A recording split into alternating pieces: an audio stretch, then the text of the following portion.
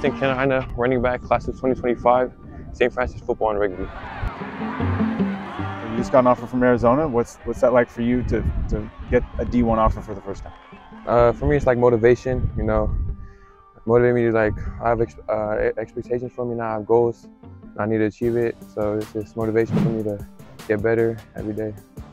Where does that come from in terms of a relationship with coach, camps that you went to out there? How do you feel like this evolved and, and Arizona was the first school to step up? Um, I feel like Coach Cal does a great job, like getting us players out there, and um, I've been to several camps in Arizona, Arizona, so it's, uh, very thankful. Yeah.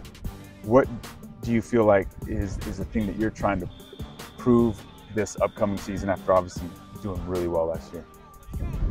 I feel like I just need to prove that like I'm capable of playing on the next level, and just yeah. Is it I got to pick up blocks better? I got to improve my speed, my strength. W- What are some things you're working on here in the off season in terms of like your workouts Mhm. and like skill set stuff that you know you can control individually? Um, this offseason, I'm working a lot of like picking my feet up, getting faster, a lot of bag drills. Um, I'm also lifting, uh, powerlifting with Coach Doherty and East Paul also getting stronger. How many brothers you got here? Um, at St. Francis, I got two right now, but in all, I got five other brothers. Yeah, and and your dad is on the coaching staff as well, right? Yeah. Okay. So how tired of your dad do you get? Because you hear it here, you hear it at home, and then you Mhm. got to give it to your brothers. Like, do you just want to? Are there times where you're like, dude, this dad, I'll see you at practice. Leave me alone. I wish I can do that, but you know, um, he's my right here, he's my right back. So So you got to hear it at practice and in the car and at home. So yeah, every 24/7. But how honestly, like, for for so many people at your age, myself included, to not have that kind of like fatherly guidance and Mhm. advice. I'm sure there's times where you're, where you're tired of it, but you also know how lucky you are, right? Yeah, Like, I'm like forever thankful for it. Like he's he's always on me, which I appreciate. Cause sometimes I, I get lazy, and then like he's just there to check me and just keep it pushing for me. Yeah. when I went to high school, I was, I was a freshman. My brother was a senior, and I felt like a it helped me get acclimated and more comfortable right away, but b I knew that I wanted to not make him look bad.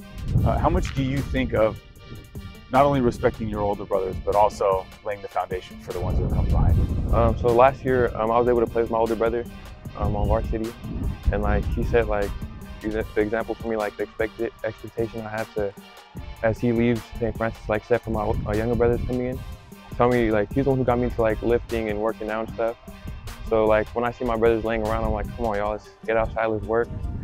We got we got stuff to do, like And now they're up here running, running, running running bleachers, stadiums. yeah. yeah, that's awesome.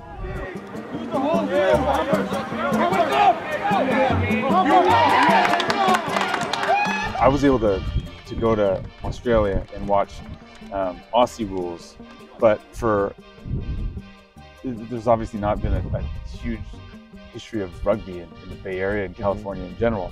What was it like for you to play rugby? How do you feel like that skill set translates to the football field?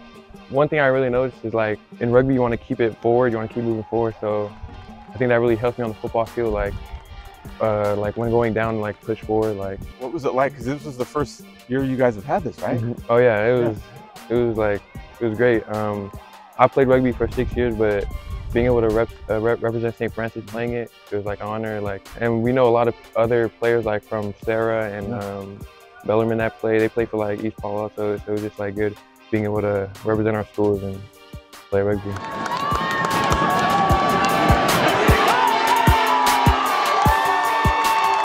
Uh, how, how excited are you about the season? You know the work that you guys are putting in now and you will continue to do, but the Rage Cage and what this place is like on, on a Friday night for a West Catholic League game, how excited are you for that kind of stuff? I want this next game to be this Friday. Want to just keep going, keep going. Let's go. Was there like a moment where you're like, you knew you had it in you, but you felt like you showed your, your teammates who, like, Mhm. the fans are, are, are amazing, but I'm sure you care more about what your, your teammates and coaches feel and believe about you as opposed to outside noise. Mhm. Was there a moment where you're like, okay, I finally got to show them what I knew I had inside of me, wh- where there was a game moment, a play, or whatever that you remember?